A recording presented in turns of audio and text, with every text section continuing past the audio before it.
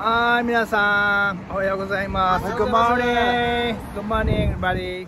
Today, uh, we are coming the uh, Arcadia Le Meridian Hotel.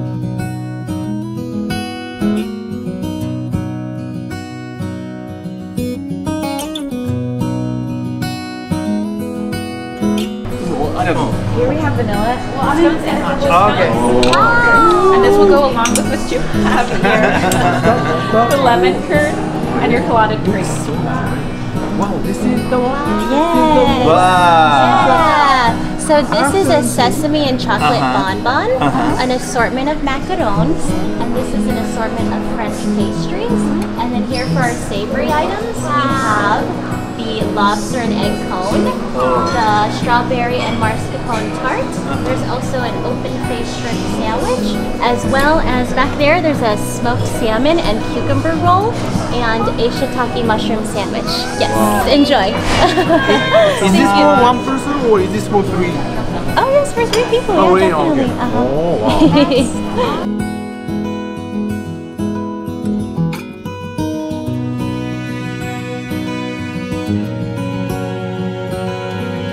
ここ結構エイジアのコミュニティなのででホテルが一応フレンチ系なのであのエイジアン系ヨーロピアンっていうこうフュージョン系みたいな料理を今やってます。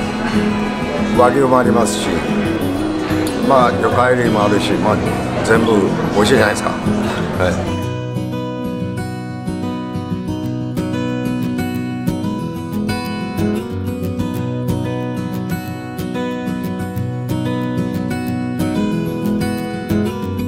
はい、じゃあいただきます。じいただきましょう。すごい高級料理が並んでますね。すごい高級料理ばっかりナチュラルに育ってるから弾力もすごくあるのに柔らかいしかもなんか味も淡白じゃなくてすごく豊かですね。ジュレがかかってるんあ、そうですね。ジュレソース。すっごく